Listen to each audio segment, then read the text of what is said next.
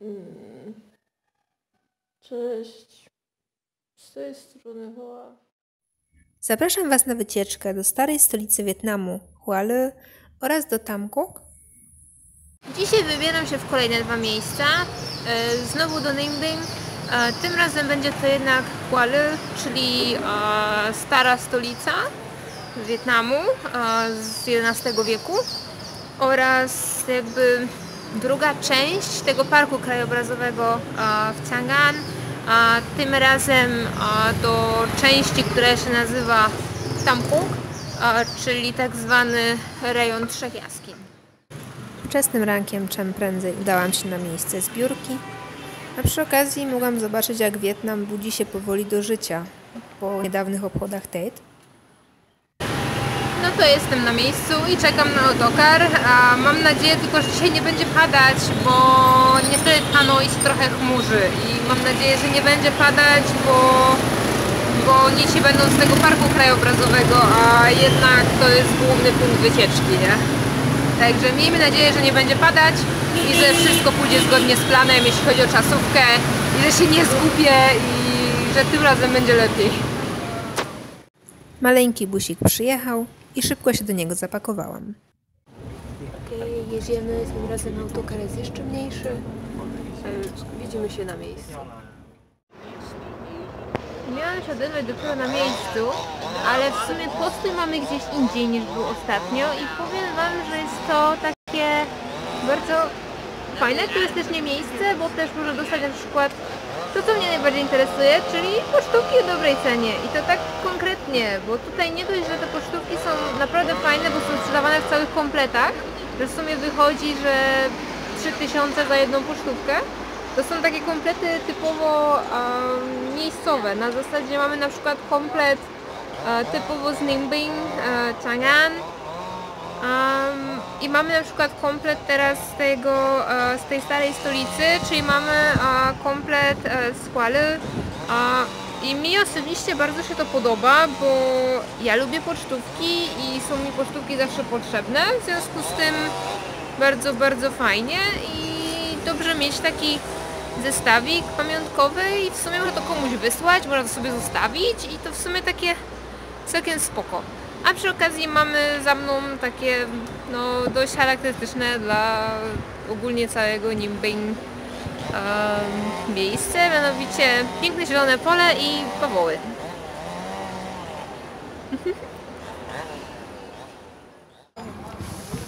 Także dotarliśmy do Hualien i idziemy zwiedzać.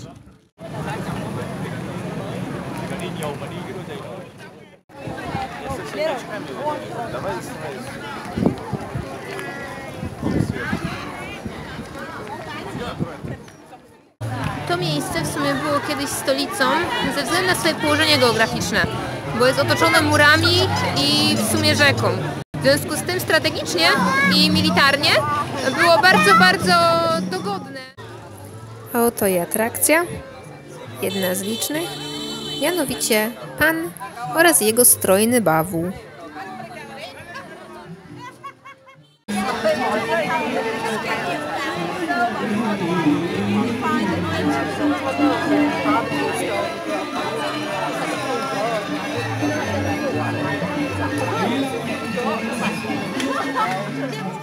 Trafiliśmy też na występ lalek wodnych obwoźnego teatru. To przedstawienie różni się od tego, które można było zobaczyć w Teatrze Lalek Wodnych przy Huankiem. Mianowicie opowiada dość prostą historię, mianowicie niesfornych dzieci, które bawią się w rzece, a biedne mamy muszą się z nimi uganiać.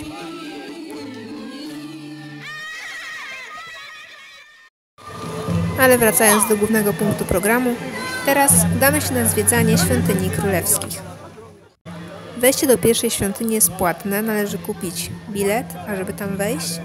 Zrobił to za nas przewodnik, w związku z tym my tylko i wyłącznie jesteśmy odliczeni i wpuszczeni na teren pierwszej świątyni.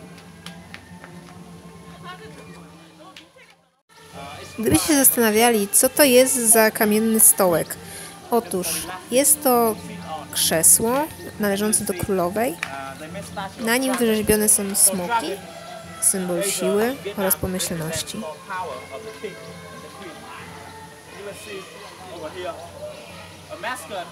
Tutaj widzicie wejście do świątyni, gdzie za chwilę pójdziemy. Zaś pan przewodnik tutaj pokazuje tak zwanego strażnika wrót.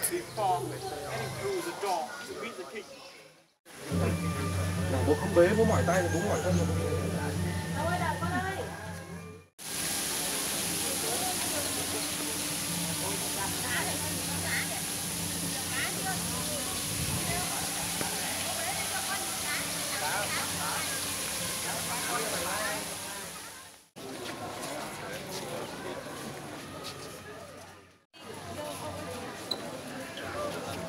sanno molto di cinese.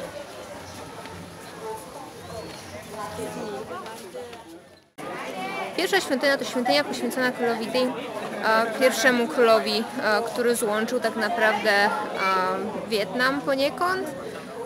W sumie został zabity przez swojego żołnierza, więc nie tak za fajnie, aczkolwiek jest to dość ważna świątynia, tak samo ważna postać. W sumie pod jego rządami złączył się Tai Vie, czyli księstwo wietnamskie Wietnamu Północnego, podczas gdy jeszcze Wietnam nie był jedną całością.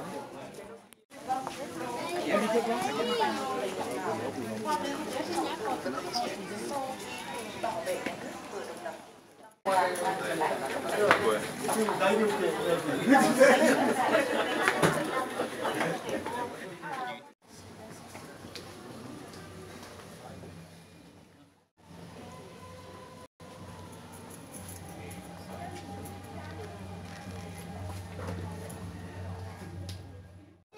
teraz udamy się do środka i zobaczymy, jak wygląda świątynia wewnątrz.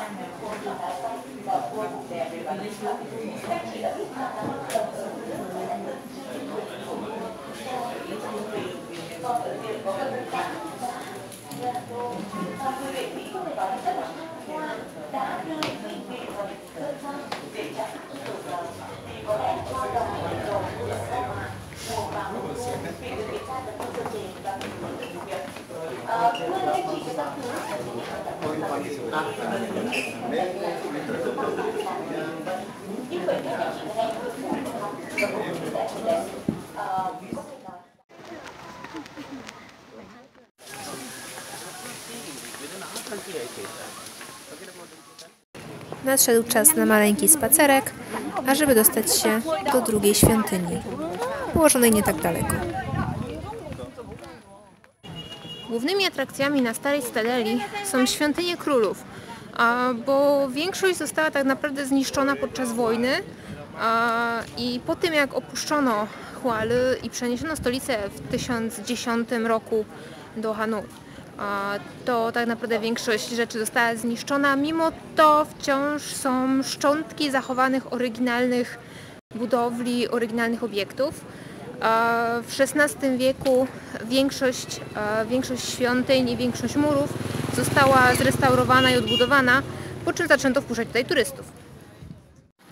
A oto i wejście do drugiej świątyni, świątyni tak zwanego drugiego króla, gdzie znajduje się także posąg królowej. W sumie jak już tak idę, to w sumie mogę wam powiedzieć, jak to było z królową. Mianowicie była żoną pierwszego króla, ale po tym jak został zamordowany, mogła albo podzielić jego los, albo wyjść e, za króla numer dwa. W związku z tym się na to zgodziła, jednak wszyscy uważają, że zawsze kochała króla numer jeden i już na zawsze jej serce do niego należało.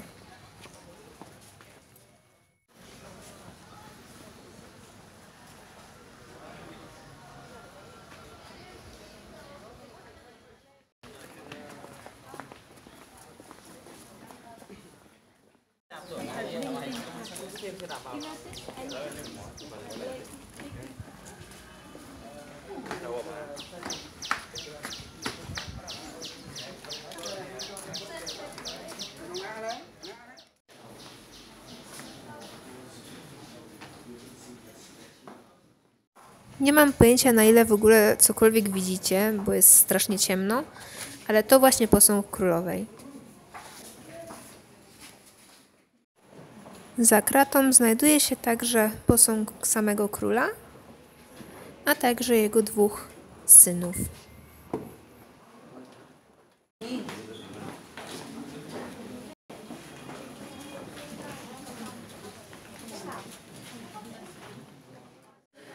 Świątynia pierwszego i drugiego króla praktycznie jest identyczna. One są niemal bliźniacze. Różnią się tak naprawdę tym, że w świątyni drugiego króla znajduje się posąg królowej. I mimo to, że królowa znajduje się w drugiej świątyni, jest zwrócona w stronę świątyni pierwszej. Myślę, że Was już nie dziwi, dlaczego królowa jest zwrócona w stronę świątyni pierwszego króla. No bo w sumie powiedziałam Wam, że była jego żoną i że według wszystkich kochała go do samej śmierci, mimo że poślubiła innego mężczyznę.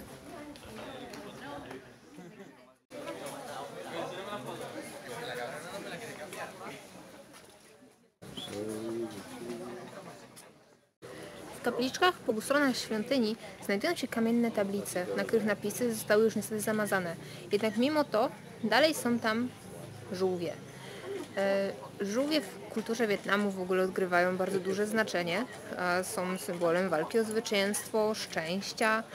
Tak naprawdę żółwie są wszechobecne, zwłaszcza jeśli chodzi o Hanoi i okolice. W każdym razie, tutaj tego żółwia starczy pogłaskać po głowie, żeby zapewnić sobie szczęście.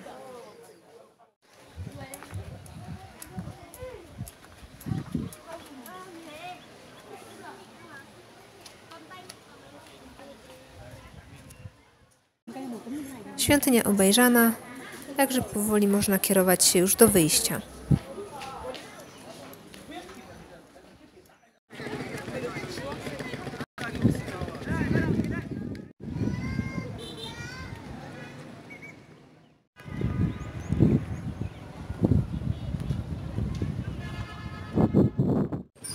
Może za dużo do zobaczenia, ale mimo to jest to wycieczka na pewno bardzo miła, bardzo fajna i na pewno ciekawie jest się czegoś nowego dowiedzieć, a przy okazji zobaczyć też skrawek historii tego kraju.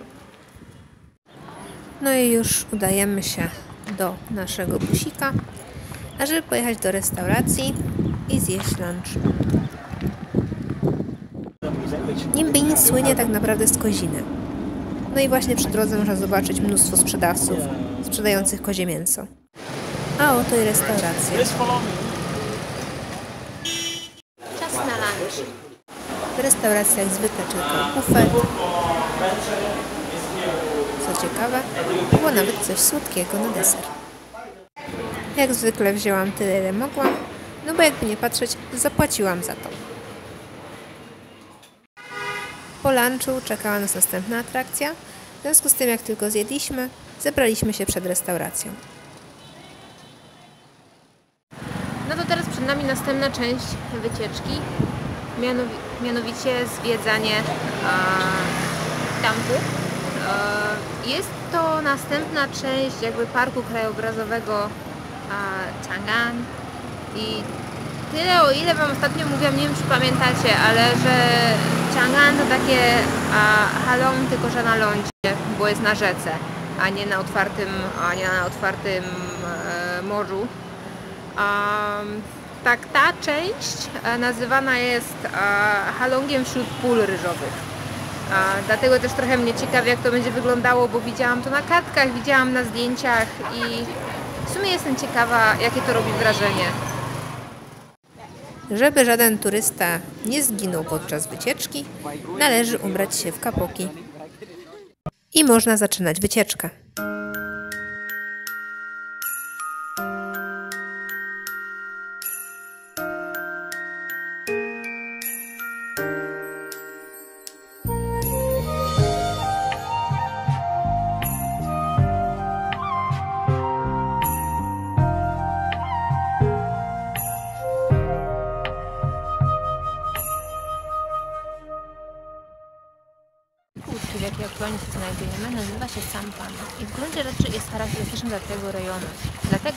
Przewoźnik wiosłuje nie rękami, a nogami.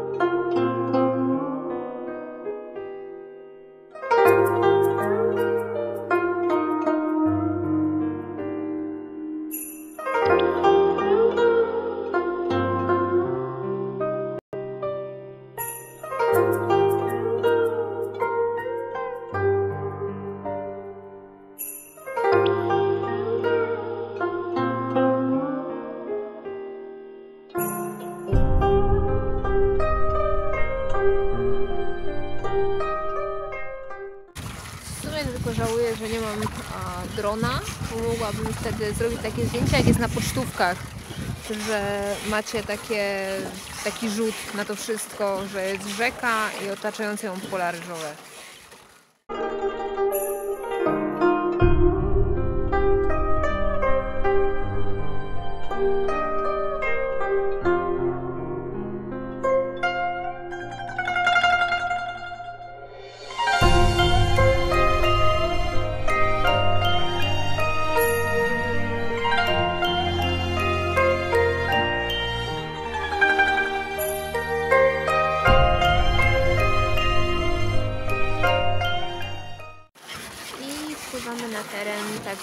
Trzech jaskiń. I mamy trzy jaskinie, jedną po drugiej. Mamy Hanka, Hangzhua i Hangul. Czyli no, początkową, środkową, ostatnią, jakby nie patrzeć. No i przez te trzy dość niskie jaskinie teraz przepływamy.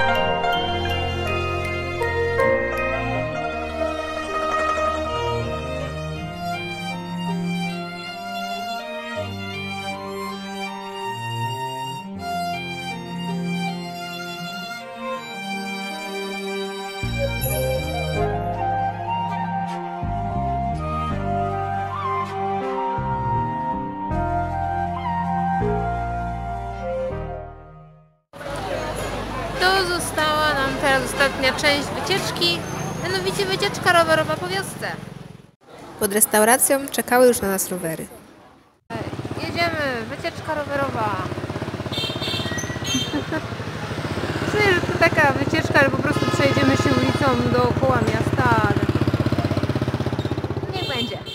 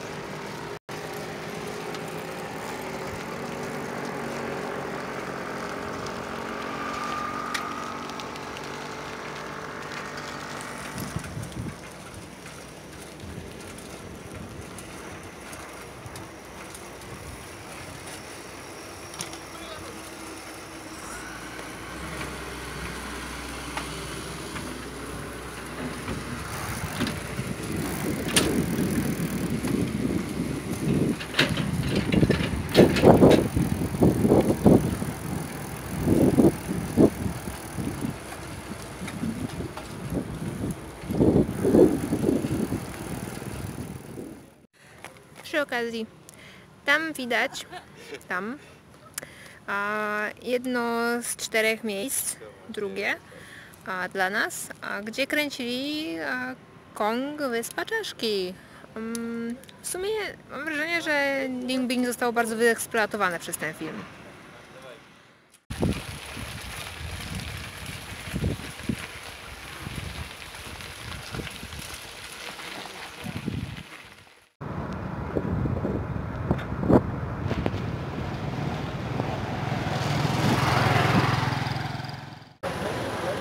Um, wrażenia po wycieczce rowerowej. Um, krowy na ulicy, przez co cała ulica zafajdana, tak totalnie.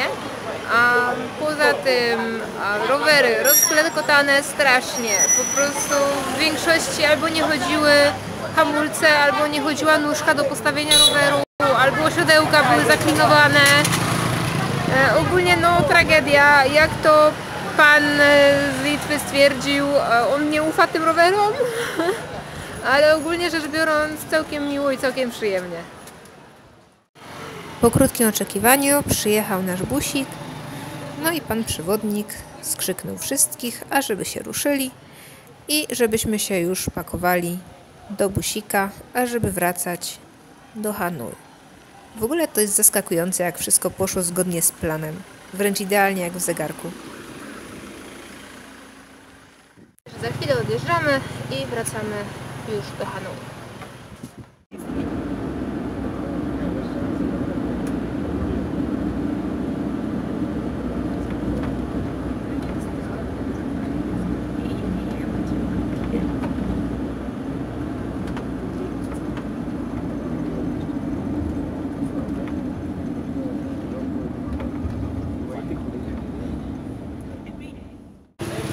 Wycieczka dobiegła końca, jestem już w Hanoi. A w związku z tym myślę, że dostanę się po prostu na autobus, dotrę do domu i się odezwę z podsumowaniem. Dotarłam do domu po wycieczce, już się ogarnęłam troszkę. A powiem Wam tak, że ta wycieczka bardzo mi się podobała. Jestem z niej hiper zadowolona i jestem zadowolona z przewodnika. Bo powiedział nam dużo ciekawych rzeczy, był zabawny, dobrze mówił po angielsku, po wietnamsku też mówił, co też wykorzystałam, bo mogłam z nim trochę porozmawiać, ale ogólnie rzecz biorąc bardzo, bardzo pozytywnie. Mm, Jeżeli było coś negatywnego, to takie drobniejsze rzeczy, które nie są zbyt warte wspominania. Am, no i co? No i mogę Wam powiedzieć, że jeśli chodzi o Limbing, to ogólnie myślę, że coś tam liznęłam z tematu, jeśli chodzi o to, jak ono wygląda i co tam się znajduje. Am, jestem ogólnie zadowolona, że, e, że byłam w Limbing w tych wszystkich czterech lokalizacjach i myślę, że jeżeli Wam się kiedyś trafi przyjazd do Wietnamu, to myślę, że też powinniście te miejsca odwiedzić, bo są tego warte. Są warte czasu, są warte pieniędzy. Um, jasne, że wyszłoby to taniej, jakbym jechała na własną rękę, ale no ja się trochę boję jeździć na własną rękę. Plus dla mnie jakby to jest wygodniejsze też, bo ktoś mnie zawiezie, przywiezie, oprowadzi, powie gdzie mam iść, a jakby sama nie muszę tego miejsca szukać, nie? Chociaż, chociaż myślę, że z miejscem typowo turystycznym, takim właśnie jak e, Nimbing, to by jakoś dało radę, nie? Ale no tak jak mówię, tak jak byłam, byłam z dziewczynami w tym Haifongu, to do, do, do dziś mam takie... Nic tam nie było, nic się nie dało zwiedzić, nawet jak się bardzo chciało. Także... Także tak, taka dygresja, nie?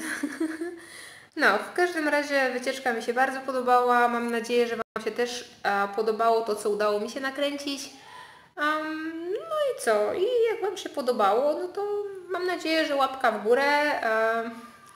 Jeżeli e, chcecie i możecie, komentujcie, bo jak widzę komentarz, to jakoś tak się robi, nie wiem, cieplej na serduszku, że jednak ktoś to ogląda i coś ma do powiedzenia, jakieś to wrażenie na nim zrobiło.